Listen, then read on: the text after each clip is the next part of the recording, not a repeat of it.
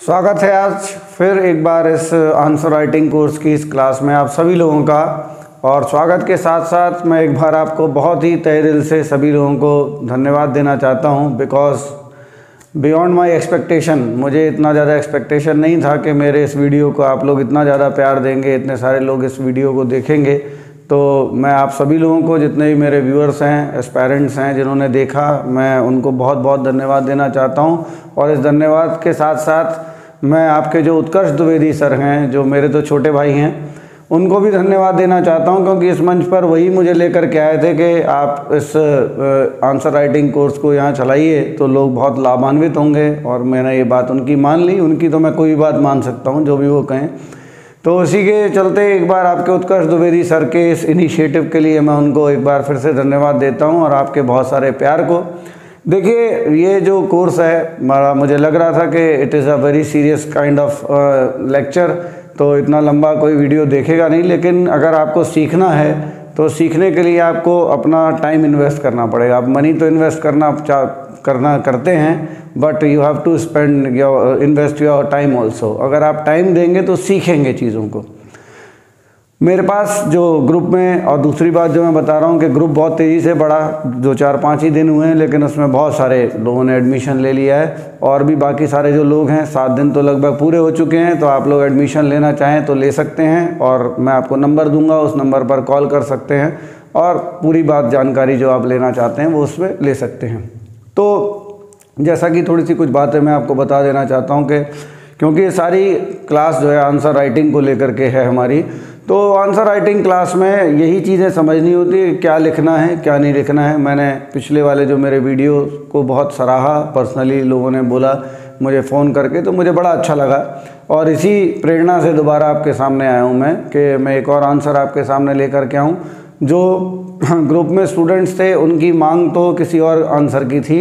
उसको मैं एक डिफरेंट वीडियो में नेक्स्ट में बनाऊँगा, क्योंकि ये क्रम चल चुका है और मुझे अच्छा लग रहा है कि ये क्रम जो है बड़ा अच्छा जा रहा है। तो देखिए आंसर राइटिंग का एक सबसे अच्छा पॉइंट है कि अगर आप हिस्ट्री से लिखना शुरू करते हैं तो बहुत सारी चीज़ें कवर अप होती हैं। मुझे बोला गया था, जो स्टूडेंट्स से उनकी डिमांड थी कि, सर, आप फोर्थ इंडस्ट्रियल रेवोल्यूशन के ऊपर वीडियो बनाइए नेक्स्ट वीडियो जो मेरा होगा, वो उसी के ऊपर होगा। लेकिन ये जो मेरा वीडियो है, ये मैं आपके लिए उस पर नहीं बना रहा हूँ। ये हिस्ट्री का एक टॉपिक उठा रहा हूँ, ताकि अभी जो आंसर राइटिंग में इस बीच में जो सुधार हुआ या जो भी कुछ आपने समझा, वो ज्ञान वो समझ थोड़ी सी और भी गहरा जाए, उसमें और डेप्थ आ जाए। ठीक है? तो आज जो हम लोग टॉपिक शुरू करने जा रहे हैं, वो टॉपिक है मौर्य कला पर विदेशी प्रभाव। ये प्रश्न मैंने जो है अपने मॉडल आपको एक मॉडल क्वेश्चन के रूप में दिया था, इसका आंसर लिखने के लिए दिया था। बच्चों ने आंसर लिख करके दिखाया और मैंने आंसर चेक भी किया, लेकिन इस माध्यम से आप सीखेंगे कि उत्तर में इतिहास का उत्तर लिखते हुए चाहे आप ऑप्शनल हिस्ट्री रखे हों तो भी कोई फ़र्क नहीं पड़ता। और यदि आप जीएस का आंसर लिख रहे हो तो भी कोई फ़र्क नहीं पड़ता। और यदि आप इंटरव्यू दे रहे हैं तो भी कोई फ़र्क नहीं पड़ता।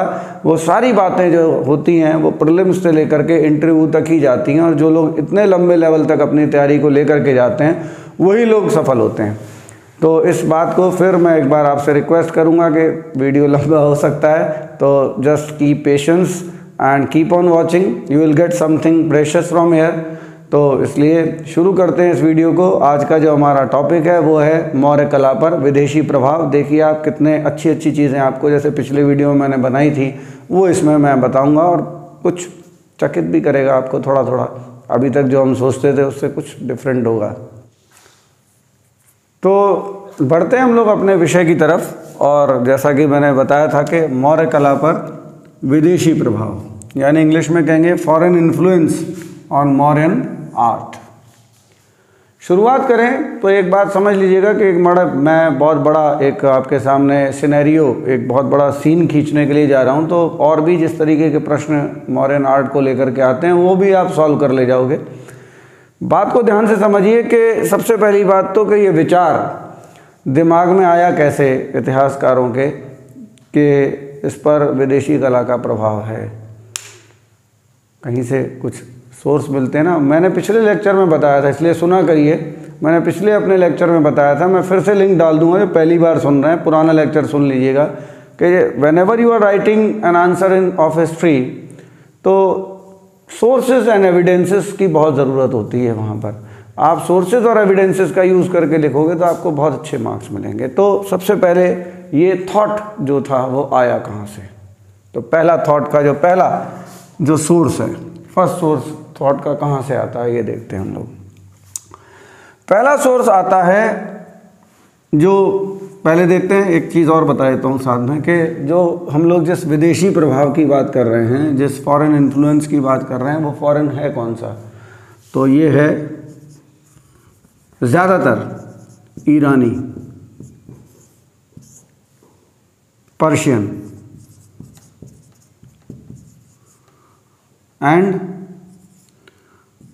और यूनानी। अब अगर आप कहीं यूनानी से चूक गए, ग्रीक, अगर कहीं यूनानी यानी ग्रीक से चूक गए तो नंबर भी चूक सकता है। तो सबसे पहले तो आपको ये बताना है कि फॉरेन इन्फ्लुएंस आखिर कौन सी आर्ट का है? तो ज़्यादातर जो है वो ईरानी यानी पर्शियन आर्ट का मानते हैं और कुछ यूनानी यानी ग्रीक आर्ट का मानते हैं। क्यों ग्रीक का मानते हैं? क्यों यूनानी का मानते हैं? ये भी हम लोग देखेंगे। तो सबसे पहले जो पहला हमारा जो एविडेंस है, जिसके कारण ऐसा लगता है, लोगों को या इतिहासकारों ने माना। तो पहली बात तो इतिहासकारों ने माना इसलिए था कि जब भारत का इतिहास लिखा गया तो at that was the time when British rulers were ruling in India तो उनकी सोच यही थी कि भारत में तो ऐसा कुछ अच्छा हो नहीं सकता था तो जो भी कुछ अच्छा हो सकता था, वो ब्रिटिश वो फॉरेन इन्फ्लुएंस से हो सकता था वेस्ट के इन्फ्लुएंस से हो सकता था। तो उनके पूरे इतिहास में कहीं ना कहीं ये ढूँढने का प्रयास किया जाता है कि ये चीज़ कहाँ थी, आप इंडस वैली सिविलाइजेशन में भी देखोगे। तो पहली बात तो सारे इतिहासकार जो हैं वो विदेशी हैं तो उन्होंने उसको उसी दृष्टिकोण से देखा कि यहाँ कैसे आया। कहीं ना कहीं से इन्फ्लुएंस हुआ होगा, इनको नहीं आता होगा। इसका एक कारण और भी है, जो थोड़ा सा जेनुअन है, वो उसको भी समझ लीजिए। तो आपको एक आर्ट जो आपके सिलेबस में है ना आर्ट एंड कल्चर तो आर्ट का इतिहास भी मैं साथ ही साथ में इस लाइन में बता रहा हूँ कि सबसे पहले आर्ट का जो नमूना हमको शुरुआती दौर में मिलता है, एक तो चित्रकला के रूप में भीम बेटका में मिलता है। उसका कोई संबंध यहाँ से नहीं है। जो मूर्ति कला या ये सब चीज़ें जो आपको देखने को मिलती हैं, वो सबसे पहले आपको दिखाई देती हैं इंडस वैली सिविलाइजेशन में। और वो सारी जो कला के नमूने हैं, वो सेल खड़ी पर बने हुए हैं, मिट्टी के बने हुए हैं मेटल्स के बने हुए हैं। लेकिन जब मॉडर्न आर्ट को हम लोग देखते हैं तो मॉडर्न आर्ट्स के बीच में जो 1500 साल का जो गैप है, इस गैप में हम मॉडर्न आर्ट को देखते हैं कि ये पाषाण, यानी कि स्टोन पर जा कर के दिखाई देती है। तो ये बीच का जो गैप है, इस गैप में हमको बहुत सारे जो एविडेंसेस हैं खुदाई में, वो मिलते नहीं है कि ये जो स्विच था, ये जो एक बदलाव था, ये जो रूपांतरण था, मिट्टी से लेकर के फिर कास्ट पर कास्ट माने वुड पर, और वुड से फिर सीधा पाषाण, यानी स्टोन पर ये आया कैसे, इसके बीच में हमें कोई लिंक्स नहीं दिखाई देते। इसलिए भी एक कारण है, ठीक है ना? दो कारण मैंने आपको बताए। तो एविडेंस क्या है? कारण तो मिल गए, चलिए एविडेंस क्या है? ये भी देखते हैं। एविडेंस ये है कि सबसे पहला एविडेंस था कि ईरान में एक हकामनी साम्राज्य था और वहाँ का राजा तो दरवायु था, इंग्लिश में उसको डेरियस बोलते हैं। ठीक है तो चाहे तो डेरियस लिख लीजिए या दरवायु लिख लीजिए। और भारत में जो मौर्य राजा था, वो था अशोक। इस तरीके का आंसर आपको कहीं भी नहीं मिलेगा, ये मेरी गारंटी है। कोई सा भी नोट्स जो आपके पास हो वो देख लीजिएगा इस तरीके का एनालिसिस आपको मिलेगा ही नहीं। तो इधर डेरियस और उधर अशोक, ये दोनों जो हैं, क्या करते हैं? अभिलेख लिखते हैं। आपने पढ़ा होगा तो देखिएगा, ये लोग अपने अपने अभिलेख लिखते हैं, जिसको हम लोग इंस्क्रिप्शन बोलते हैं इंग्लिश में। तो दोनों ही लोग अपने इंस्क्रिप्शन लिखवाते हैं और इंस्क्रिप्शन में क्या करते हैं? कि थर्ड पर्सन यानी तृतीय पुरुष में शुरुआत करते हैं। थर्ड पर्सन में। थर्ड पर्सन समझते हैं ना आप? लैंग्वेज में, तृतीय पुरुष, यानी किसी नाम से। तो अशोक लिखता है, देवनाम प्रियदर्शी राजा। और डेरियस भी इसी तरह से अपने आप को संबोधित करता है। दूसरी बात, ये अभिलेख जो लिखते हैं, उसके लिए एक शब्द का प्रयोग करते हैं। डेरियस लिखता है डिपी, और ये लिखता है लिपि। लिपि और डिपी, ये दोनों शब्द लिखते हैं तो इससे एक समानता देखने को मिलती है, और उसके बाद जो भी पढ़ने वाला है, पाठक है, जो रीडर है इनके अभिलेखों का, वो जो है, इससे सीधा सीधा जो है जा करके संबोधित उसको करते हैं, तृतीय पुरुष में जो भी पढ़ता है, वो सीधा सीधा इनसे संबोधित होता है। तो चूँकि ये पहले था, अशोक बाद में था तो लोगों को ऐसा लगता है कि अशोक के ऊपर कहीं ना कहीं डेरियस का इन्फ्लुएंस था। तो पहला एविडेंस बात समझ में आती जाइएगा तो आप नोट करते जाइएगा, जो जो मैं आपको बातें बता रहा हूँ, उसको आप नोट कर लीजिएगा। इंग्लिश वाले इसको अशोका लिख सकते हैं? ठीक है? इसके बाद अगली जो बात इंपॉर्टेंट है समझने की कि दूसरा जो एविडेंस है वो कहाँ से आता है हमारे पास? दूसरा एविडेंस आता है मौर्य प्रासाद। मौर्य प्रासाद। मौर्य प्रासाद का मतलब महल कैसल पैलेस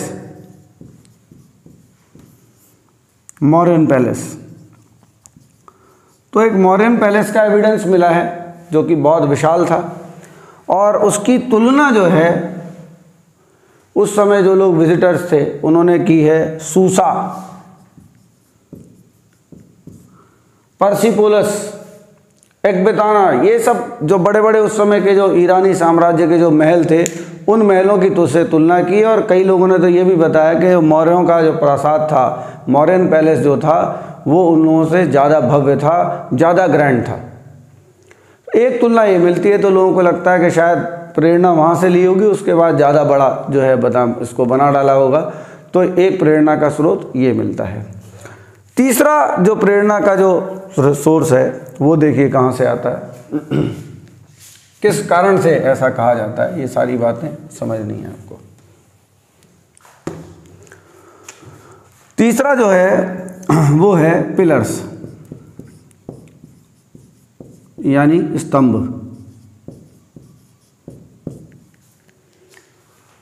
परसीपोलस के महलों को यदि देखा जाए तो आप देखेंगे कि परसीपोलस में इस तरीके के पिलर्स बनाए गए हैं। ध्यान से देखिएगा इसको।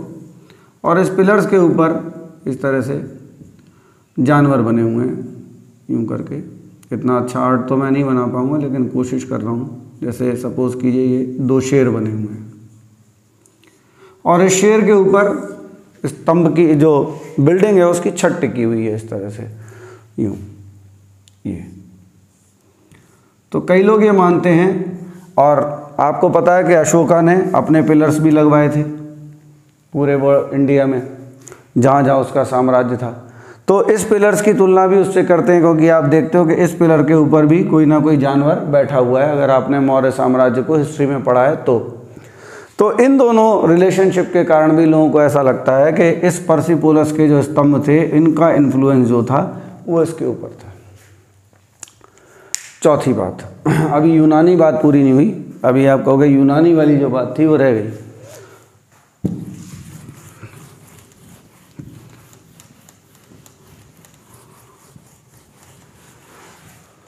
अब अंतिम और चौथी बात जो है, वो यूनानी कला के लिए इशारा करती है ग्रीक इन्फ्लुएंस के लिए।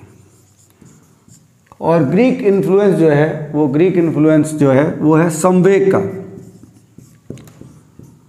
इन कलाओं में जो जानवर दिखाई दिए, दिखाए गए हैं या जो भी कलाकृतियाँ बनाई गई हैं, उसमें एक विशेष प्रकार का इमोशन एक संवेग है। एक विशेष प्रकार की, का भाव है, जिसमें एक विजेता जैसा भाव है। तो ये मान करके चलते हैं, चूँकि अलेक्जेंडर ने उस समय पूरे ईस्ट तक जो है इंडिया तक जीत लिया था। तो बहुत बड़े एरिया पर अपना चूँकि शासन किया था तो ये प्रभाव जो है वो वहाँ से आया कि जो कलाकृतियाँ बनाई जाएँ, उनमें एक संवेग, एक भावनात्मक संवेग जो है उसको दिखाया जाए। तो आप देखते हैं जैसे हमारा जो चार शेर वाला लॉइन कैपिटल है। समझने की चीज़ ज़्यादा है यहाँ पर, इसलिए उसको सुनिएगा ज़्यादा ध्यान से। तो लॉइन कैपिटल मतलब जहाँ शेर बने हुए हैं, चार जो हमारे जो वो है, हमारा जो राष्ट्रीय चिन्ह है, उस पर जब आप शेरों को देखेंगे तो उनके ऊपर जो एक्सप्रेशन आप देखते हैं तो वो जो एक भव्यता का जो एक्सप्रेशन है, वीरता का और आत्मगरिमा का जो एक्सप्रेशन है, वो ये बोलते हैं कि ये कहीं ना कहीं ग्रीक से लिया गया। तो संवेद की जब बात आती है तो चार बातें आपको लिखनी होती हैं। जब ऐसा आप आंसर लिख करके आओगे तो आप तो मैचलेस हो ही जाओगे। आपने शुरुआत करी कि किन किन चीज़ों पर प्रभाव और कैसा कैसा प्रभाव है? अब आप खुद विचार कीजिएगा कि आपने जो जो पुस्तकें पढ़ी या जिन रिसोर्सेज से आपने पढ़ा, क्या आपको ऐसी चीज़ें वहाँ पर पढ़ने के लिए मिली? अब फिर मैं आपको बताऊँगा कि कितना प्रभाव विदेशी है, क्या उसको माना जा सकता है या नहीं माना जा सकता है, इसके बारे में हम चर्चा करते हैं। तो अब हम लोग देखेंगे कि अभी हमने देखा कि ये जो प्रभाव थे, ये किस किस तरीके से हम लोगों के सामने आए कौन सी चीज़ों का एनालिसिस किया, कलाविदों ने, जो हमारे आर्ट के जो स्पेशलिस्ट थे, उन लोगों ने किन किन चीज़ों का एनालिसिस किया और फिर इस निष्कर्ष पर पहुँचे। और मैंने जैसा कि आपको बताया था कि सारे जितने भी लोग हैं, ये सब अंग्रेज़ या फॉरेन राइटर्स हैं फॉरेन हिस्टोरियंस हैं, जिनमें नाम अगर आप देखना चाहें तो देख सकते हैं, जैसे स्पूनर हैं ठीक है? और इसके बाद आपका जॉन मार्शल हैं। पढ़ लीजिएगा। आप मैंने आंसर तो जो है आपको मैं अपने ग्रुप में दे देता हूँ, पूरा लिखा हुआ तो बहुत लिखने की ज़रूरत नहीं है, आप बस समझने की कोशिश कीजिए। एक और बड़े इंपॉर्टेंट हैं, पर्सी ब्राउन। ये बहुत बड़े कलाविद हैं और इनको आप जब तक एंशेंट हिस्ट्री पढ़ेंगे तो पर्सी ब्राउन को पढ़ते रहेंगे। तो कुछ इतिहासकारों का यदि आपको उल्लेख करना हो तो आप कर दीजिएगा। पर्सी ब्राउन का, जॉन मार्शल का, स्पूनर का, ये सारे लोग ये बात बोलते हैं। और सबसे ज़्यादा जो सिमिलैरिटी है, वो सिमिलैरिटी इनको दिखाई देती है उन्हीं स्तंभों में जो मैंने आपको भी बना करके दिखाए थे। एक बार फिर से दिखा देता हूँ। ठीक है, इस तरह से। मैं ज़्यादा तो अभी ड्रॉ नहीं कर रहा हूँ। और इसके ऊपर कोई एक शेर या कुछ जैसी आकृति बैठी हुई है। इस तरह से। अब दूसरी तरफ़ अशोक के पिलर्स हैं इस तरह से। उसको जब आप देखोगे तो इस तरह से, फिर उसके बाद आप देखोगे कि उसके ऊपर एक ये इस तरह से बना है और बीच बीच में ये इस तरह से करके चक्र और फिर कुछ जानवरों की आकृति है, फिर उसके बाद ऊपर जो है शेर बनाया हुआ है या अलग अलग तरीके के उसमें एनिमल्स बनाए हुए हैं। तो अब एक तो पिलर्स की बात हुई तो पिलर्स में सिमिलैरिटी है। कहते हैं कि पिलर सिमिलर हैं इन्फ्लुएंस्ड हैं पिलर दूसरी बात, एक और इंपॉर्टेंट चीज़ है, वो है पॉलिश जो चमकदार पॉलिश इस पर की गई है जो जिसकी वजह से ये आज भी चमकते हैं। अगर आपको मौका मिले तो कभी देखिएगा जा करके। बहुत सारी जगह पर इनके अवशेष हैं या कहीं म्यूज़ियम जाइएगा तो देखिएगा, वहाँ पर इनके हिस्से रखे हुए हैं। तो ये चमकदार जो पॉलिश इस पर की गई है, इस पॉलिश को भी ये मानते हैं कि ये पॉलिश का जो इन्फ्लुएंस था वो भी ईरान से लिया गया था, क्योंकि वहाँ के जो महल बने हुए थे, जो वहाँ के पैलेसेस थे, उनके ऊपर वो पॉलिश की गई थी। तो वो पॉलिश का भी जो एक हाँ तो ये जो जो छोटी छोटी चीज़ें जो आप चूकते जाओगे ना तो आपको कहीं ना कहीं लगेगा कि ये कहीं ना कहीं हमसे चूक गया। तो छोटी छोटी चीज़ें जब लिखोगे तभी आपको मार्क्स लिखेंगे। मैंने आंसर चेक किए थे तो मैंने बहुत सारे लोगों को कहा कि आपने बहुत सतही स्तर का, बहुत एवरेज लेवल का आंसर लिखा, क्योंकि इसमें काफ़ी डेप्थ लाई जा सकती थी। चाहते तो बहुत डिस्कशन किया जा सकता था और उसी लिमिटेड जो वर्ड है आपके, उसमें किया जा सकता है। तो अब आपने सिमिलरिटी देखी, क्या सिमिलरिटी देने की बात कही है? देखिए, लेकिन अब बारी बारी से हम देखते जाते हैं कि फ़र्क क्या है। पहला फ़र्क देखिए क्या है। बाद में पॉलिश की बात करेंगे। सुनिएगा ध्यान से। यहाँ लिखने के लिए कम है, समझने के लिए ज़्यादा है थोड़ा सा उसके बाद मैंने जैसा बताया कि जो लोग ग्रुप में हैं, उनको मॉडल आंसर वहीं मिल जाता है। तो वहाँ पर सारी बातें लिखी हुई हैं। इंग्लिश में भी मिलता है, हिंदी में भी मिलता है। देखिए, पहली बात तो क्या है कि ये जो स्तंभ हैं, जो मॉडर्न स्तंभ हैं, ये इंडिविजुअल खड़े हुए हैं जगह जगह पर। और ये चूँकि अलग अलग जगह पर खड़े हुए हैं तो ये कहीं ना कहीं ये मौर्य शक्ति का प्रतीक है। ये अकेले खड़े हुए हैं, किसी बिल्डिंग का पार्ट नहीं है ये, ठीक है ना? जबकि ये जो स्तंभ है परसीपुलस के जो हम लोग देखते हैं, ये एक बिल्डिंग का पार्ट है, जिसके ऊपर उनकी छत टिकी हुई है। जैसे होता है कि बड़े बड़े जब महल बनाए जाते हैं तो उसमें बीच बीच में पिलर्स बनाए जाते हैं। तो ये उस पिलर का पार्ट है तो सबसे पहली बात तो ये है। दूसरी बात जो सबसे बड़ी बात है, वो ये है कि अशोकन पिलर जो हैं, वो एकाश में हैं।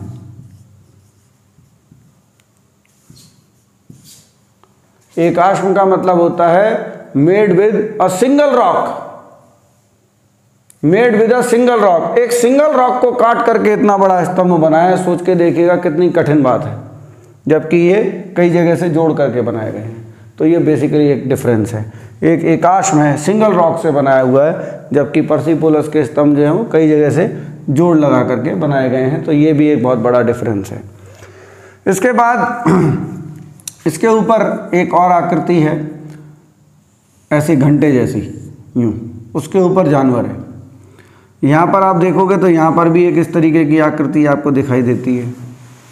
तो इसको लेकर के भी ये चर्चा की जाती है कि भाई ये इसके इन्फ्लुएंस से बना हुआ है। तो ये विशेष रूप से घंटा, यानी बेल, के शेप है। लेकिन भारतीय कलाविद जो है, वो जो आर्ट के स्पेशलिस्ट हैं इंडियन वो ये मानते हैं कि ये तो भाई कमल है। कमल मतलब लोटस और लोटस तो इंडियन सिंबल है और इंडियन सिंबल का यूज़ उन्होंने किया है और इसके ऊपर फिर एक किसी जानवर को बैठाया है। अब बारी आती है जानवरों की, यानी एनिमल्स की। इस पर जो जानवर है, वो बैल और शेर हैं, दो जानवर हैं, जबकि आप यहाँ पर देखोगे तो आपको सिंह मिलेगा, यानी लॉइन फिर उसके बाद यदि आप देखोगे तो आपको बैल भी मिलेगा, बुल। फिर आप देखोगे तो आपको इस पर एलिफेंट, हाथी भी मिलेगा। आपके लिए पूछता हूँ कि कौन सा बताइए, वो कौन सी जगह है? क्वेश्चन छोड़े दे रहा हूँ आपके लिए, वो कौन सी जगह है जहाँ पर अशोकन पिलर पर एलिफेंट मिलता है? फिर इसी को बढ़ा करके आप देखेंगे, इसमें जो आप देखते हैं, ये दो तरफ़ को मुँह बनाए हुए हैं मतलब जो लॉइन है, वो दो हैं, पीठ से पीठ सटा करके दो बैठे हुए हैं, एक इस तरफ़ और एक इस तरफ़। जबकि हमारे यहाँ सिंगल भी है और सिंगल के साथ साथ चार वाला भी है, जो हमारा नेशनल एम्बलम है, जो हमारा जो राष्ट्रीय प्रतीक है, उसमें चार वो दिए गए हैं। तो ये जो बेसिक जो डिफरेंसेस हैं दोनों में, ये डिफरेंसेस हैं। इन्फ्लुएंस दिखा सकते हैं, लेकिन डिफरेंसेस बहुत सारे हैं। दूसरी बात, ये चिकना है पूरा, देखिए यहाँ से। सपाट, इसको कहेंगे प्लेन सपाट। जबकि ये नालीदार है फ्लूटेड है इंग्लिश में बोलते हैं फ्लूटेड है। टेक्निकल वर्ड्स इंग्लिश में सब बता रहा हूँ फ्लूटेड है। बाकी देखिए आंसर जो अगर आपको चाहिए तो वो आपको ग्रुप में मिलेगा, वहाँ पर इंग्लिश में और हिंदी में दोनों में लिखा हुआ मिलेगा आपको। ये फ्लूटेड है, देखिए इस तरह से, जबकि ये बिल्कुल प्लेन है। तो ये भी एक बहुत बड़ा डिफरेंस है दोनों पिलर्स के बीच में। तो अब बात आ जाती है कि या तो आप इन्फ्लुएंस मान लीजिए, और एक लास्ट जो था, वो पॉलिश वाली जो बात की थी। तो पॉलिश की बात जो थी, वो एक हमारे इतिहासकार हैं, वासुदेव शरण अग्रवाल।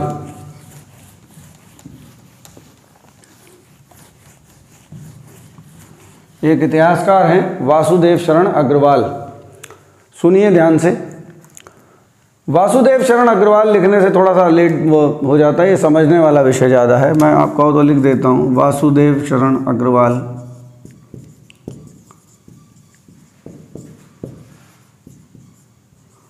उन्होंने एक खोज की और एक हमारा पुराना ग्रंथ है, आपस्तंभ सूत्र। तो उससे उन्होंने पता लगाया देख करके कि यहाँ पर बहुत पहले से इस तरीके की चमकदार पॉलिश बर्तनों पर की जाती थी। और हम देखते हैं कि उस काल में हमको इस तरीके के शाइनिंग जो पॉटरीज़ हैं, चमकने वाली जो पॉटरीज़ हैं चमक चमक वाली जो बर्तन है, ये उस समय से हमको मिलते हैं। तो कहीं ना कहीं उनका मानना है कि ये कला जो थी पॉलिश करने की बर्तनों को, ये बहुत पहले से चली आ रही थी। बर्तनों को पॉलिश किया जाता था, चमकदार बनाया जाता था। वही पॉलिश का प्रयोग जो है जा करके कहाँ किया गया? अशोकन पिलर में किया गया, जो वो इतने खूबसूरती से आज भी चमक रहे हैं। तो उन्होंने एक अपना यहाँ पर तर्क दिया है। तो वो मानते हैं कि पॉलिश की जो कला है, ये कला भी इंडियन है और पहले से यहाँ पर थी। तो अब बात आकर के फंस जाती है भाई कि हम इधर जाएँ फॉरेन इन्फ्लुएंस की बात माने। तो अगर कुछ बातें आप देखोगे तो आपको दिखाई देगा कि भाई फॉरेन इन्फ्लुएंस है। और कहीं ना कहीं जब दूसरी तरफ़ आप देखोगे तो आप ये भी देखोगे कि डिफरेंसेस भी हैं। तो अब हम बात कौन सी माने? ये देखना हमारे लिए ज़रूरी हो जाता है और यहीं से आपको उत्तर में अंक मिलना शुरू होंगे कि हम क्या लिखने जा रहे हैं। ये तो आपने वो बातें लिखी जो उस पक्ष की हैं और इस पक्ष की हैं। अब आप क्या लिखने के लिए जा रहे हैं, वो आपको मैं बताऊँगा जो आपको लास्ट क्योंकि इसमें जो नंबर मिलेगा, वो लास्ट के जो पैराग्राफ्स होंगे, वहाँ पर जा कर के आपको नंबर मिलेंगे। तो अब हम देखेंगे कि लास्ट के कंक्लूजन्स में हम कौन कौन सी लाइन्स लिखते हैं, अपने कौन कौन से राय देते हैं, दोनों तरफ़ की बातों को सुन करके। उसको हम लोग देखेंगे। तो अब हम लोग देखेंगे कि क्या हमको निष्कर्ष देना है। तो सबसे पहली बात तो देखिए क्या है कि जो ये मानते हैं, और आप चूँकि इंडियन हैं तो आपको इस तरीके की बातों पर भी विश्वास करना पड़ेगा कि नहीं भाई, हमारे पास अपना कुछ ना कुछ भी था। तो पहली बात जो आती है वो ये है कि जितने सिंबल्स हमने प्रयोग किए इसमें जो सिंबल यूज़ हुए हैं मौर्यन आर्ट में, जिसको हम लोग कहते हैं प्रतीक। अब प्रतीक के रूप में जैसे बैल। अब बैल तो आप देखिए, सिंधु सभ्यता के काल से ही चला चला आ रहा है। ठीक है, हाथी। हाथी जो है महात्मा बुद्ध जो थे, उनके गर्भ में धारण होने का प्रतीक है। और आप जानते हैं कि अशोक बौद्ध था। तो इस प्रतीक का प्रयोग उसने हाथी का किया है। इसके बाद सिंह का प्रयोग किया गया है तो ये बताते हैं कि सिंह जो है वो मौर्य साम्राज्य की जो भव्यता और चारों तरफ़, चारों दिशाओं में जो उसकी जय जयकार थी, उसको प्रदर्शित करने के लिए लॉइन का यूज़ किया गया है। उसके बल को, मौर्य साम्राज्य के बल को प्रदर्शित करने का, उसके प्रभाव को प्रदर्शित करने का एक प्रतीक है। तो इसके बाद आप देखते हैं धर्म चक्र। तो धर्म चक्र से तो आप पूरी तरह से परिचित हैं कि ये तो बौद्ध प्रतीक है। तो इस तरह से हम देखते हैं कि मौर्य कला जो, या जो मौर्य जो आर्टिस्ट थे, जो मौर्य शिल्पी थे, उन्होंने एक चिर परिचित कला को अपनाया और उसको एक नए आकार में ढाला, नए रूप में ढाला। अगली लाइन चाहे तो आप लिख सकते हैं इसमें बैलेंस करने के लिए। वो लाइन ये है कि ये मान लीजिए, मान भी लिया जाए कि मौर्य कला पर क्या था? यूनानी या ईरानी या विदेशी प्रभाव था। तो भी हम ये नहीं कह सकते हैं कि मौर्य कला के जो नमूने हैं, जो मॉडर्न आर्ट के जो पीसेज हैं they are not just the copies exact copy पूरी तरह से जो नकल हैं, वो नहीं है। उसको अपने तरीके से उन्होंने अपने रूप में ढाला है, प्रभाव हो सकता है, लेकिन वो इतना बड़ा प्रभाव नहीं है कि पूरी तरह से उसको नकल मान ली जाए। तो इस तरह से चाहें तो आपको एक एंडिंग अपने नोट्स में मिल सकती है जो आपने पढ़ा हो। लेकिन अब मैं लास्ट लाइन जो आपको बताऊँगा, जो लिखने की है, वो आपको चौंका देगी। और वो चौंकाने वाली लाइन जो है, वो बड़ी मज़ेदार है। जब आप मौर्य साम्राज्य का नक्शा देखेंगे तो आप देखेंगे कि जहाँ ईरान है, वो ईरान तक का जो हिस्सा था, वो काफ़ी हद तक मौर्यों के साम्राज्य में आता था। आज जो हिस्से हमको विदेशी दिखाई देते हैं वो किसी समय मौर्य साम्राज्य के ही अंग थे। तो इनको विदेशी कहने की संभावना बनी नहीं सकती, क्योंकि मौर्यों ने उस हिस्से को जीत लिया था। और ज़ाहिर सी बात है, जब वो उसके साम्राज्य का अंग बन गए थे तो ज़ाहिर सी बात है कि वहाँ के जो भी लोग रहे होंगे, उनका इन्फ्लुएंस मौर्य साम्राज्य पर आया होगा, और मौर्यों ने उनका प्रयोग अपने लिए किया होगा। तो आज जो हिस्से हमको विदेशी दिखाई देते हैं, वो किसी समय मौर्य साम्राज्य का ही अंग थे। तो अगर इसमें कोई ऐसी बहुत बड़ी बात नहीं है कि यदि हमने वहाँ से कुछ ले लिया हो, अपने ही साम्राज्य से, उनका साम्राज्य था, चंद्रगुप्त, मौर्य ने, सेल्युकस निकेटर से जीत लिया था उस समय वो हिस्से तो उस प्रभाव को यदि यहाँ से लेकर के आ गए हों तो कला के नमूने तो बहुत दूर दूर तक अपना प्रभाव छोड़ते हैं। जैसे बंगाल में रसगुल्ला होता है, लेकिन खाते तो हम यहाँ भी हैं। तो मौर्य साम्राज्य का ही जब अंग था तो ज़ाहिर सी बात है कि यदि मौर्यों ने अपने साम्राज्य के ही हिस्से के कुछ आर्ट के पीसेस को यूज़ करके अपने ही साम्राज्य में पूरी लगाया तो आप देखते हैं कि पूरे उसमें जो आर्ट के पीसेस मिलते हैं तो अशोक के जो स्तंभ हैं, वो हमको इन क्षेत्रों से भी मिलते हैं जो ईरान के बॉर्डर पर इस समय लगे होते हैं और उनकी जो लिपि थी, आपको पता होना चाहिए, वो अरमाइक और खरोष्टी लिपि थी, क्योंकि वहाँ पर दूसरे लोग निवास करते थे, यूनानी यहाँ करके बसे थे तो उनको यहाँ की ब्राह्मी लिपि तो समझ आती नहीं थी तो ऐसे स्तंभ वहाँ लगाए गए थे। सिर्फ़ इसलिए क्योंकि वहाँ पर रहने वाले जो लोग थे, उनके साम्राज्य में वो दूसरे तरीके की भाषा को समझते थे, लेकिन वो हिस्सा उनके साम्राज्य का एक अंग था।